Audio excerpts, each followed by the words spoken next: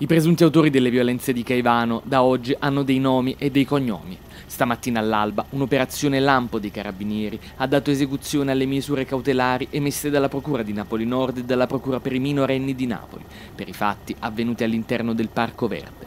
Quegli orrori reiterati nel tempo che avevano avuto come vittime due giovanissime cuginette di 10 e 12 anni.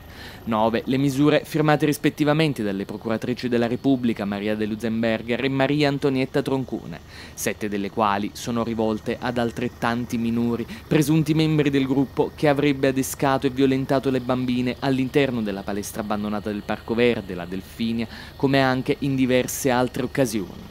A fare ulteriore chiarezza sui dettagli del caso, la conferenza stampa annunciata con una nota dell'arma all'interno della Procura di Napoli Nord.